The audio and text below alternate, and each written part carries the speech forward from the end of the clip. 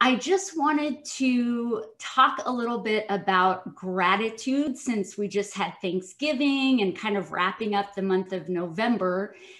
And I was contemplating gratitude, especially in this year that has been crazy. And a lot of times we're thinking, well, what the heck do I have to be grateful for this year? Um, and I came up with four different thoughts about gratitude. The first thought is that gratitude really is a choice. We can choose to be grateful and find the positive things, or we can choose to be ungrateful and maybe critical and focus on the negative stuff. And trust me, in the past, I have for sure been super guilty of going down the negative spiral in my own mind. And it's something that I still have to constantly work on. And so, gratitude is one of those tools that helps us instantly to switch and change our perspective. So, just like fear and love can't coexist, neither can being grateful and being negative. Um, when we're grateful, we are focused on the positive.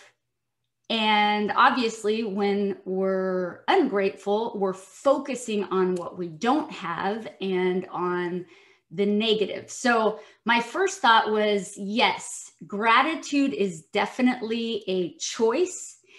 And I would also say we don't have to be grateful necessarily for these horrible events that happen in our lives. Like, we don't have to be grateful for the pandemic, but we can be grateful in the pandemic. So, finding the silver lining to life's messiness and the ups and downs um, that happen in life, because that is obviously just the nature of living. And so to be focused on gratitude and to make it a choice, something that I have done in the past and uh, actually really want to do it more now that I'm talking about it because I know how effective it is, is to have a gratitude journal. And just every night before bed, jot down some things that you're grateful for because I don't know about you, but a lot of times it's at night when my mind can start spiraling off into these negative places. So if I consciously and intentionally focus on what I am grateful for, then my mind has no choice but to focus on the positive. So I just want to share a uh, an entry from my gratitude journal from a while ago. Um, and it's just entitled Grateful. I am grateful for good people I am grateful for true friends and deep conversations. I am grateful for God and the mystery of what that even means. I am grateful for pain and for relief. I am grateful for challenges and obstacles. I am grateful for peace and tranquility. I am grateful for endings and for beautiful beginnings. I am grateful for the fight and I am grateful for the rest.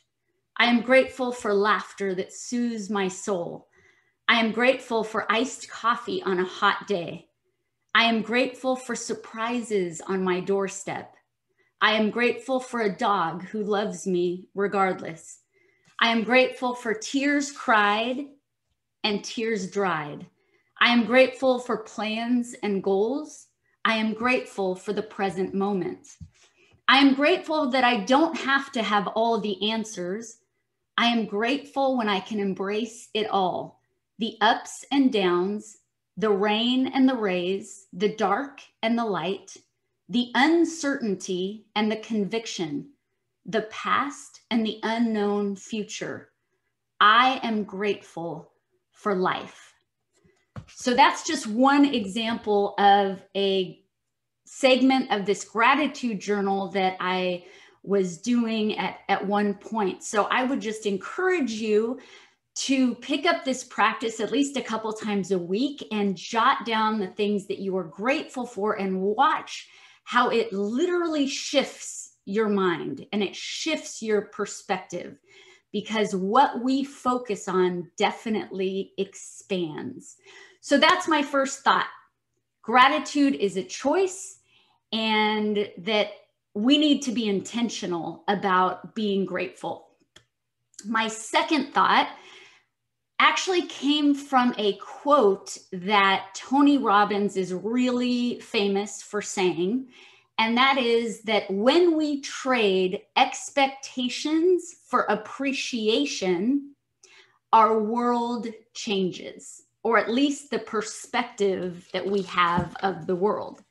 So I want to show you, I'm going to share my screen. I want to show you something hilarious um, that I saw that is very appropriate for this year. So travel plans in 2020 be like, here's my expectations going to this amazing place, right? World traveling. And here's the reality dishes in the dishwasher or whatever that thing is dishes in the in the drain um and that truly is it kind of sums up 2020 right we have these expectations for what our life is going to be like or look like. And then when reality happens and that doesn't pan out and it's not exactly what our expectation is, we can tend to feel defeated, discouraged, resentful, angry, irritated, bitter, and we suffer because our expectations don't match up to the reality. But as Tony Robbins says, when we trade our expectation for appreciation, everything shifts and we don't suffer internally anymore. So, just a quick example in my own life. When I was a little girl, my dad was my hero, as many little girls look up to their fathers. Um, I was just the same, you know, my dad was everything in my eyes and could do no wrong. And then when I was a teenager, I found out that he had betrayed my mom pretty much for their entire marriage and that he had been living a double life and had not been the person that he had portrayed or told everybody that he was. And so for years, I was devastated. And because I had this expectation of what a dad should be, I had this, this expectation of what I wanted him to be. And it didn't match the reality of, of what he was or the choices that he had made. So finally, when I was able to let go of the expectation that my dad was perfect. When I was able to let go of that and instead appreciate the good things about my dad, the way he would laugh with his entire being, the way he was friendly and listened really well, the way he wrote corny, cheesy poems that now I tend to do the same thing. Uh, so I started to be able to appreciate the things about my dad that were great. And then also appreciate the lessons that I learned from his betrayal and from his lies and from him not being who he said he was, because I realized that I didn't want to be that way that I wanted to be authentic and I wanted to have integrity in my life, that what I did behind closed doors matched who I was out in front of everybody. I wanted to be this open book who was sincere and authentic. And so I learned that lesson from his mistakes So I was able to pull out the things that I appreciated and focus on those things instead of just focusing on this expectation that I had that was not the reality. So that's my second thought is to trade our expectation with appreciation. And when we do that, we don't have to suffer needlessly inside. So, my third thought we have gratitude is a choice, trading expectation for appreciation. My third thought is that one of the most important things that we can do is to be grateful and appreciate ourselves. And that, for some reason, is so hard to do sometimes because we are our own worst critic. We will tear ourselves down with our internal dialogue and even our external dialogue sometimes. And I was the biggest culprit of doing this in the past. Uh, obviously, I still struggle with it, but I'm aware. And so I can change my thoughts now. Where in the past, I would just let myself tear myself down horribly. And I know I can say that, but I want to give you like a very real, concrete example when, of what it was like when I felt that way, because it was truly this prison that I created for myself in not appreciating myself, in tearing myself down. So I want to read something to you that I wrote um, several years ago when I was having this real deep self loathing and lack of appreciation and lack of gratitude for, for myself. And this is what I wrote. The night stretches on. Beyond infinity, it goes on and on. I wrestle with my demons. They are suffocating me once again, clawing at my soul, causing me to question my sanity. The demons feel larger than life and they pin me down. Finally, something inside of me shifts and I am able to wiggle free. As I do, the tears come violently, as if being trapped inside for a lifetime. I open my mouth and scream, but no sound comes out. I scream silence again and again. I get up and go to the bathroom. I turn on the light and look myself in the mirror. You are hideous, I tell myself. I hate you so much. I whisper through the tears. As I say so, I feel the demons retreating even they are not interested in me anymore. Man, you see, even reading that brings up all of those emotions and that deep self loathing and hate that I had for myself. And so I would say one of the main things that we can do is focus on being grateful for ourselves. Focus on appreciating all that we are and all that we are not. And that's what I did slowly through the years. I have intentionally spoken to myself differently. I have looked in the mirror and I have said, I love you, Janice. You are amazing. You're beautiful. You are strong. I created a new I am statement because my old one was that I was not enough. I was hideous. I was horrible. I was unlovable. That was my old I am statement. So I had to intentionally create a new one. And my new I am statement is I am a powerful, confident, and purposeful woman.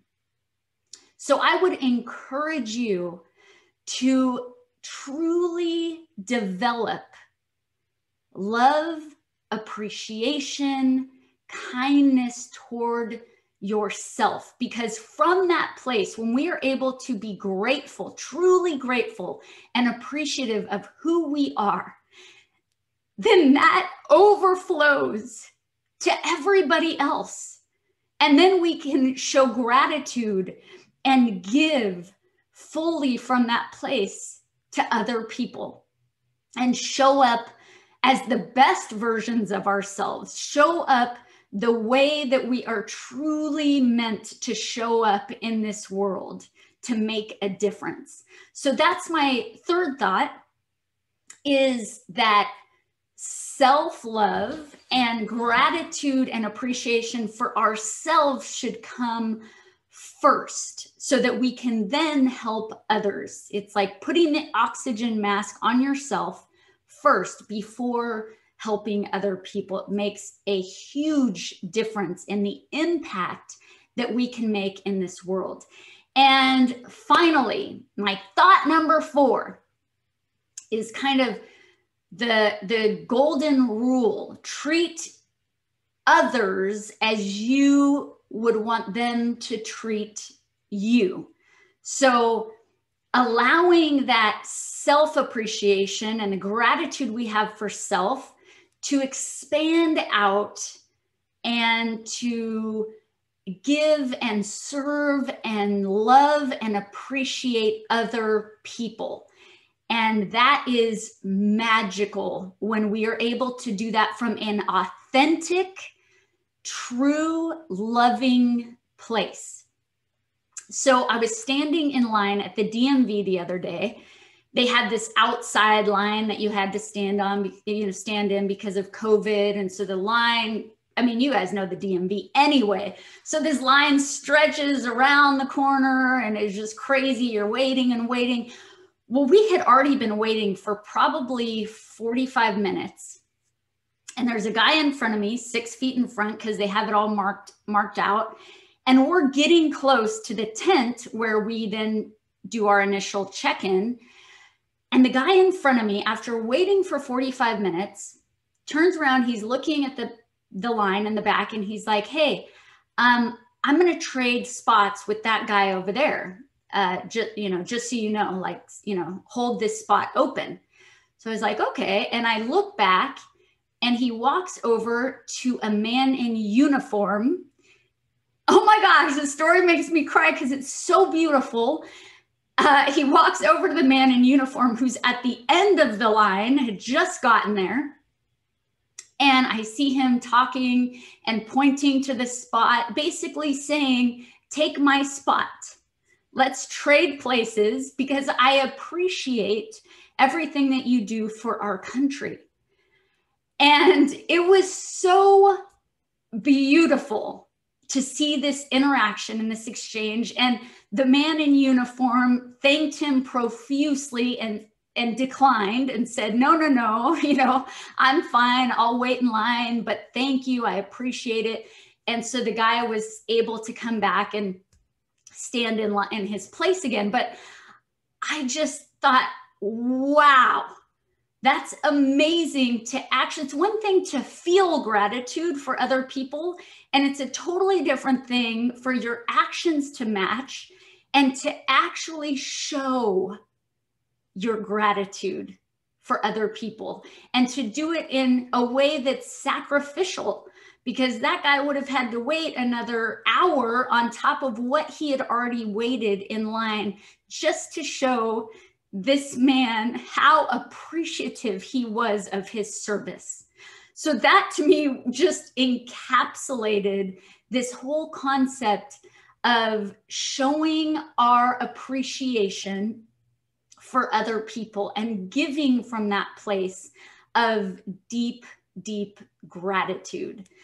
So, those are my four thoughts about gratitude. Number one, that it's a choice that we need to be intentional and keeping a gratitude journal is amazing. Number two, that for us to not suffer needlessly, it would be a really good idea for us to trade our expectation for appreciation our world will completely transform. Our inner world, our mind, the way we view things will transform for the better.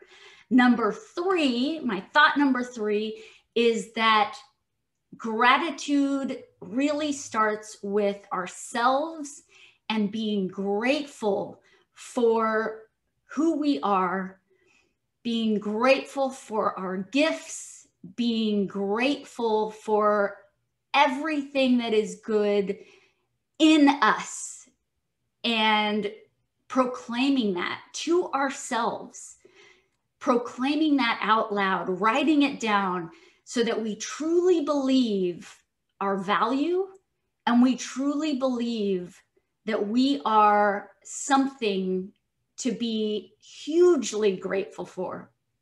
And my fourth and final thought is that as we have this self appreciation, gratitude for self, that overflows into being grateful for other people.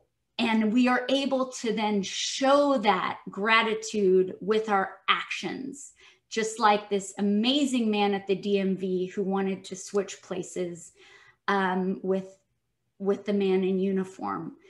So I am just so grateful for each and every one of you. I'm grateful for this group. I'm grateful for my health. And let's keep making this an amazing, amazing journey. Mwah. Love you guys.